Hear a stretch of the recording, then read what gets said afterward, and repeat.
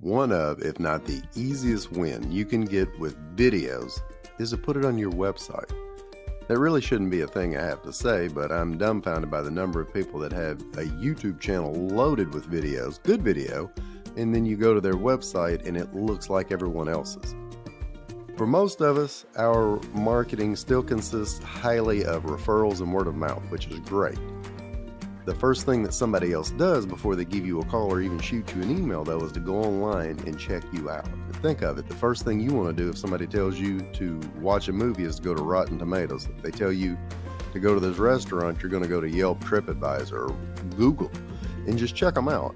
And if they come to your website, 81% of us are like watching something versus uh, reading. I'm saying that because 81% of online traffic is now video. Put your video on your website above the fold, so to speak, so it can be the first thing that engages someone. And then as they see that, they'll they'll want to learn more about you, and then they may be willing to read. If they go to your site versus somebody else and they have video, they may be more willing to give reach out to them first. So get ahead of the game, take that video and put it on your website.